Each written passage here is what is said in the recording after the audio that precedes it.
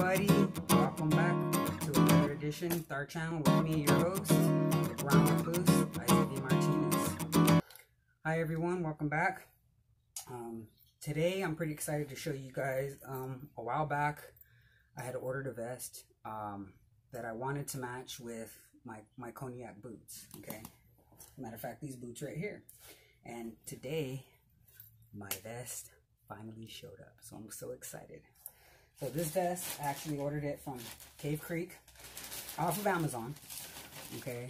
And this is the cognac vest. Okay. Suede vest from Cave Creek. It's a large.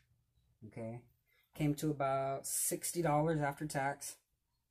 Okay. Good. And you can see the difference between there's chocolate brown and that's cognac. It's it's thick, but it's not heavy, if you, if you can understand what I mean. And right here you get your extra buttons from Cripple Creek. I'm sorry, I kept saying Crave Creek. I meant Cripple Creek. And these are buttons they give you just in case any of these ones happen to fall off or anything like that. But let's go ahead and get it on. So I ordered me a large. Okay. Um, five four, five five with my boots on about five six. and so let's go ahead and put this guy over here. And I ordered this vest. And you hear those buttons? Nice and durable. These are good and strong. You have your nylon inside. You have your inside pocket, okay, which goes pretty deep. You can see my hand. Goes real deep down here. Okay one inside pocket, um, two outside pockets. Okay. This isn't buckskin or uh, pigskin. This is actually suede. Let me see. Let me take these boots off right here and match it. Uh, it's a little bit darker, but that's okay. Um, see, got my belt to match. But I ordered this vest. Okay. I said it's through Cripple Creek. It's a large. Um,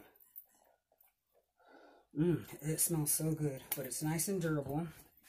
Um, you don't want to get it wet. If you do get it wet, of course, you want to block, block clean. So you get a damp um, piece of cloth and you wipe it away. Okay, you don't want to run it under water or anything like that. Definitely don't use anything hard because you will rip through it.